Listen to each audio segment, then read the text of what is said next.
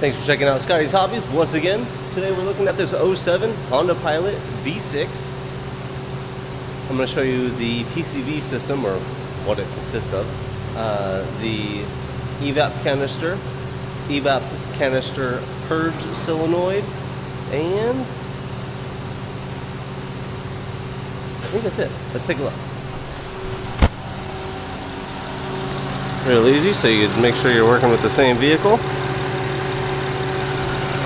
Alright, first off you're going to have your EGR valve right here on top. I already took this plastic cover off by the way. Then you're going to have your evap canister purge solenoid.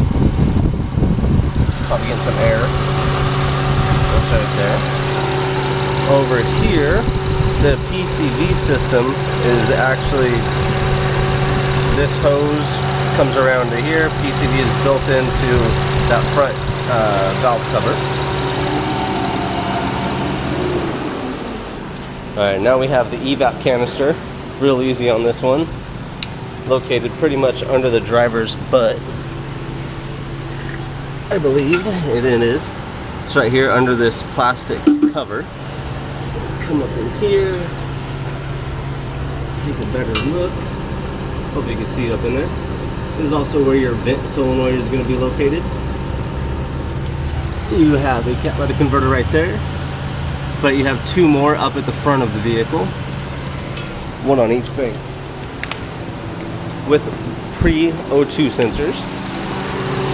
So this is one O2 sensor right here. You have that yellow wire going to it. And you should have another one on the back.